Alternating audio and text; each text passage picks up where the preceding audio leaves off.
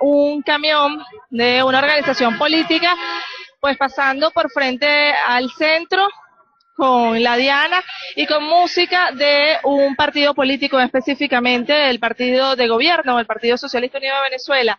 Eh, ellos, hay personas que han denunciado que han estado pasando por distintos centros de votación y eh, que está prohibida la campaña electoral en estos momentos.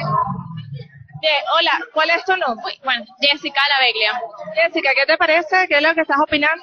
Eh, no, o sea, simplemente pienso que de, parte de ninguno de, de las posiciones políticas se debería estar haciendo campaña hoy independientemente del partido que sea o apoyando al candidato que sea. Entonces, que tomen acciones los entes pertinentes y encargados de esto. ¿Qué está pasando acá? Eh, bueno, no sé si pueden ver que pasan camiones haciendo propaganda, apoyando a diferentes candidatos y como ya dije, eso pienso que no debería estar pasando hoy y menos delante del centro electoral. Bien, muchísimas gracias por tu testimonio. Como ustedes pueden apreciar, entonces está un,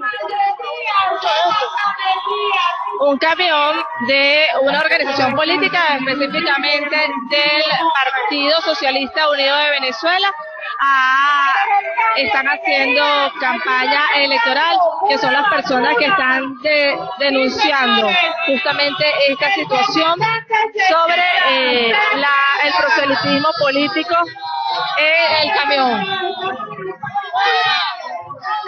Si hay socialistas, ya podemos ver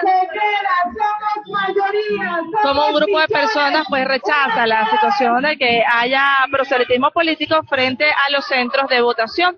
Una situación que se ha presentado en algunos centros y que ha sido denunciado por algunas eh, personas que han acudido a votar. todas estas personas están esperando afuera, haciendo su cola eh, para sufragar este 26 de septiembre en este proceso electoral donde se van a escoger a los diputados al Parlamento y al Parlamento latinoamericano y también la representación indígena.